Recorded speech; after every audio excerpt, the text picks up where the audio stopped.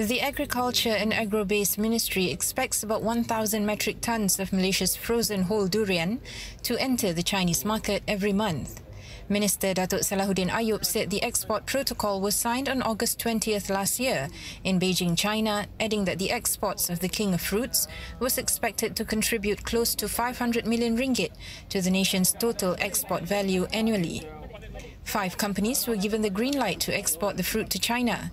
Exo Fruits Industries Sendirian Berhad, JL Food Industries Sendirian Berhad, PHG Everfresh Food Malaysia Sendirian Berhad, Top Fruits Sendirian Berhad, and Kami Food Services Sendirian Berhad. Salahuddin said the ministry was confident that enough durian would be produced to meet local, international and Chinese demand.